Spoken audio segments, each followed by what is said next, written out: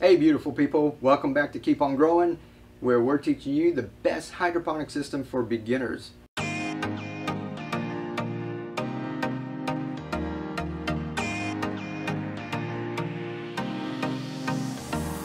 if you're just starting out with hydroponics and you don't want to get into all of the, the huge learning curve that goes with it and, and the expense, we're going to teach you the cheap and easy way to do things. Now, as you can see, this is our pak choi, one of my favorite vegetables to grow, and we grew it in this food storage container. Now, if you go back, I'll link up the video. If you go back and look a couple weeks ago, we planted this out, and if you want to know how to do that, just watch that video. But I want to show you, I let this go for a couple of weeks. I was out of town and I just came home and checked it, and uh, I want to give you a little update. This can probably go another couple of weeks, but we're going to talk about a couple of important things. Uh, there's a couple of things that happened up above ground or up above, you know, where the nutrients are, and a couple of things that happened inside. Now inside we're going to talk about the algae, and we're also going to talk about the nutrient level. Now the nutrient level is very important, and there's a couple of misconceptions out there. I want to clear that up because I get questions about that all the time, and it's nothing wrong. You know, people don't know any better. So uh, uh, they try different things, and, and I've went through the same troubles uh, myself over the past 10 years. So uh, there, there's nothing wrong with it. I just want to save you guys the trouble and explain a couple of things about it. Now, um, before we go inside, take a look at um, the algae. Let's go ahead and talk about the top. One thing that you can see is, is it looks good, you know, awesome bunch of pak choi in that. But you can see that some of these, you can see this one, how long that is. Looks like a teaspoon, right? It's got a long handle.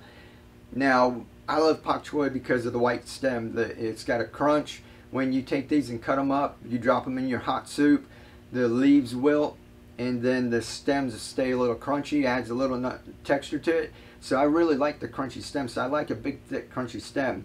And this one didn't do it. Now, the reason why that happened is because I take things to the extreme and I wanted to show you guys how to do a set it and forget it system. So this right here, we planted it out, I set it, I put this guard on it, you know, the next day, but I haven't done anything else to it. So this has been sitting here a couple of weeks. We're gonna see how much nutrients it used, what algae's in it. But the other problem was, was that I set the lights about 12 inches above it and just left it there. Now what happened was these plants were growing up trying to get to that light, even though it was only 12 inches away. See, the sun's a powerful thing out there. It might not seem like it, but the sun is a powerful thing.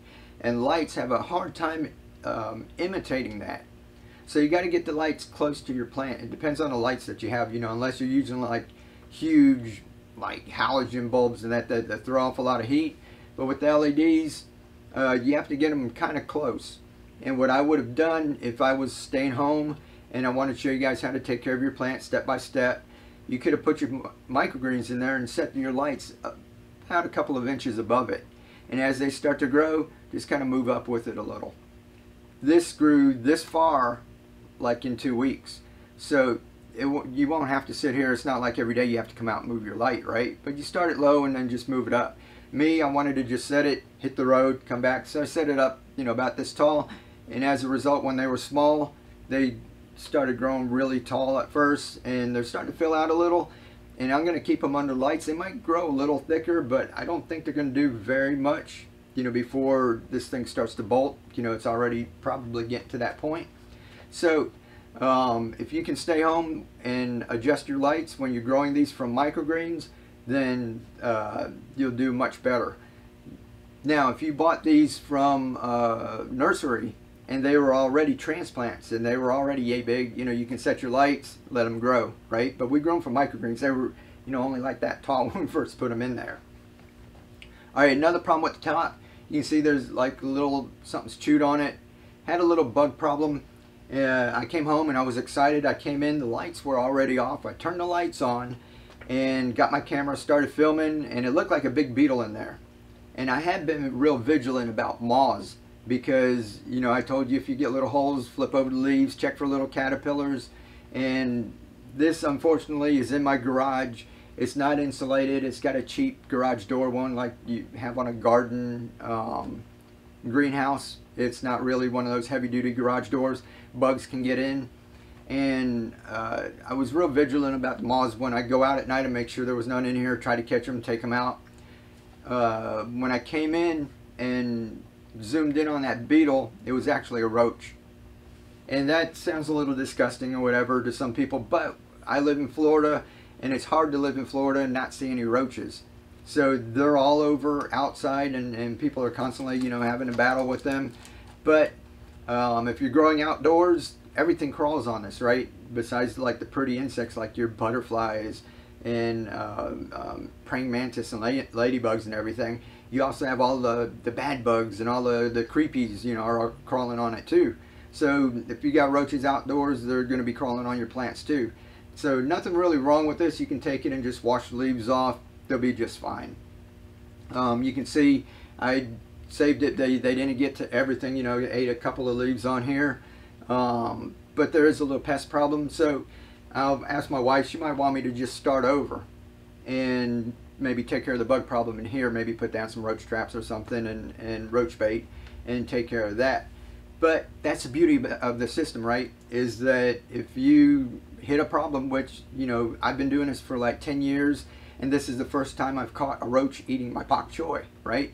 I've been doing it 10 years, so you people who are out there and you just start out and you hit a little bump and something doesn't work right, don't give up. Don't just, the, for the first time something fails, because sooner or later you're going to get the hang of it. And, and even though you do get the hang of it, it's always a learning experience and I'm always finding something different. But after you get the basics and you're growing stuff like this, it's just fun. You get addicted to it, and those little problems, you know, they're just little problems that you need to solve, and and you have fun with it. Now, um, so uh, if we've got microgreens growing already, some more pak choi microgreens, we can take these and actually trash them if we want, toss them in the compost, change our nutrient solution, and put those microgreens back in. And, and when did we plant this out? It was a couple of weeks ago, right? The last video. Within a couple of weeks, we'll have pak choi again. Now, if you're growing outside in a traditional garden, especially like now during the dead of summer, right? If something happens and you till it under, you're like, it's too hot to germinate outside, it's too hot to grow, you know, we'll just till it under and let the ground sit and we'll wait for fall. With this system, you start all over and within a couple of weeks, you're going to have you, another crop. So that's, that's what I love about this system. Now, let's take a look at the inside really quick, okay?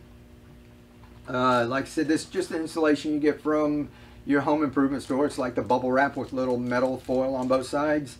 And I just took a couple strips and just went on over and put it together with some tape, little Gorilla tape. Now, this right here, see how easy that is? You can be a little more diligent. You can paint the containers if you want. You can block out all the light, but I just wanted to do it just kind of makeshift so that you know some people out there like I said if, if you just want to give it a try you don't want to spend a whole lot of time prepping and everything you know you get excited and you just want to throw a plant in and grow it so I just wrap this around and like I said if you just do that things are going to be just fine and if you want to do more then you can grow a better crop right so taking it to the extreme this is what we did and if you can see in here we'll see the nutrient level we're going to talk about that but you can also see right here some algae right and I'll take you inside and take a look. But there's some algae growing in there. And look at the plants up here. They're awesome, right? Now let's take a quick look inside. We'll see how much algae there is. Before we look at the algae, let's look at the root system. Isn't that great? At all those white roots. Everything's fine. You know, the algae hasn't got on them yet. But I'm sure, you know, sooner or later, you know, they will. But, you know, these guys are almost ready to harvest. So let's take a quick little look right here. You see the white roots, right? See right here in this area up here, all the little cottony, fuzzy looking stuff. If the camera can pick that up. That's the air roots, right? And that's the beauty of the Kratky system. Even though we have an air stone in here, it's aerating the water, this little area that's left up in here, it grows a lot of air roots and it sucks oxygen out of the air. You know, this is trying to pull oxygen out of the water, but those white thick roots are pulling up water, nutrients, and oxygen. But those air roots in there, which are usually in the soil, right? Your soil's not, if it's compact, you can't grow stuff in, in real hard compacted soil, right? So if your soil is, is uh, aerated, those little air roots grow out and absorbs oxygen. And that's what's happening right in here in this little section. So the um, nutrient level here, what we're going to talk about, has to do with all of that um, air roots too. But here's the problem. If you're not aerating, right, that this would be even more of a problem. So if we're doing the Kratky system, let's pretend we didn't have the aeration or the bubbler, bubbler on here, right? Now, I've told you guys that I keep everything, if you watch for any length of time, I keep it between half and three quarters. There's a lot of people new to this channel. In fact, over half of the viewers on every video are new people that have never seen this before. So if you hear me say this over and over again, it's because it's, it's a really important point and, and we really need to hammer it into people, is that you don't want to drown your air roots, right? At the very beginning, we fill this completely to the top, and as the water level drops, it starts developing these air roots. Now I've said to keep it between half and three quarters. I went on the road. That's why it's right down here. As your plants mature, they start soaking up the nutrients a whole lot faster. So if you're staying at home and you're watching your plants, when it gets down to three quarters, that's where you want to maintain that level. So if a few days it drops a little bit, go ahead and refill a little. Just keep it maintained in there. And that's why the float valves work really well. And if you, you want to buy a float valve, they've got stuff that you can get and put in. It's a little tough to put it on a container like this.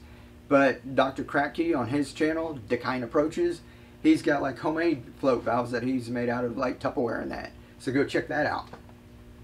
But if you can just come in here every couple of days and just maintain that level, your plants will love you.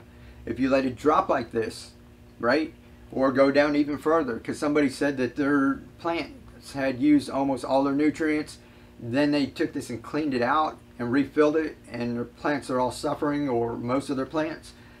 Well, what happens is your plants, as this drops, they're adapting. They adapt every day, every hour, every minute. When when different things are happening in their environment, they're growing, and it's slowly but they're kind of adapting to this new environment. And as that goes down, it grows more air roots and it's learning, you know, what's going on in here. And if it likes what's going on, you get like plants like this. And then if you take it and fill it all the way back up, you've totally changed that environment. And if you take this where there's some algae growing in there, right? If you take that and, and just change everything and, and clean it out and put brand new nutrients in, which sounds good to us, like, you know, it's, it's like we first start or like a clean glass of water, right? That's what we're tempted to do is to get rid of this, which this is a little ecosystem. You know, there's stuff growing in there. So this little ecosystem that started, and when that goes down really low, this plant's like adapting to everything. And if you take it and get rid of all of that, clean this out, and put brand new nutrients in, and you drown the roots, you've totally changed that ecosystem. This plant goes into shock. So that's what happens a lot of time, and I, I hear these stories all the time. People are like, you know, I changed it out and put fresh nutrients and my plant died. You know, what happened? And it's because you're taking this and you're changing it. It's just like you, if you you slowly adapt to like some certain environment and that you, you it takes a long while and then all of a sudden you go from extreme cold to extreme hot that's what's happening to the plant is that that you're totally changing it and it just doesn't know what to do and it just dies so at least you know, that's my opinion. So the best thing you can do for your plants, if you're going to grow fast-growing leafy greens, is to keep it between half and three quarters. You know, if you can maintain that, just keep maintaining that. Your plant's going to get used to it. It's going to be, the, the more you can keep this consistent, the better your plants are going to love it. Now, I forgot to show you the algae in here when we had it open because we started talking about the nutrient level. But that nutrient level is like really important. Like I said, I want, I want to drill that in and have everybody understand that, okay? Now, the algae, you know, will pop in here. You can see, like I said, we've got white roots, but we also have some algae here. And I'll bring you in for a close-up. You can look. There's some around the bottom because the bottom wasn't covered. But even though we have this much algae starting to grow in here, we still have, you know, leafy greens like this. So if you're growing something like uh, fast growing leafy greens, this is what I want everybody to get started on. If you're new, that's why this is for beginners. Do something that's going to be easy, set it and forget it. You get to doing it, you get addicted. Some people get really excited and the first thing they jump into, they start looking at all these videos, right? They spend hours and days looking at all these videos, getting all these different conflicting, different opinions, and then they see somebody growing a watermelon or, or tomatoes. And the first thing they want to do is stick a tomato plant in and they haven't got the basics down. That's what our online course is about, is teaching people ABC, one, two, three. It's you putting on your training wheels.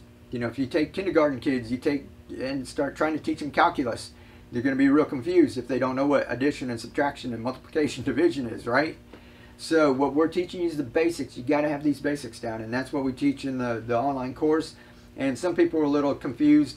Uh, it's not a master class. It's not like hundreds of dollars. You know, this is under 50 bucks. Uh, most of you have got it for like $10. And it's just teaching you all of the basics so that you can go out tomorrow and start growing food like this. So I want everybody in the world to learn how to grow some of their own food and it all starts with the basics and that's what we're doing here. So you guys get out there, keep spreading the word like you do. It's we're going to teach the world how to feed itself and it all starts with you and I love you guys for it.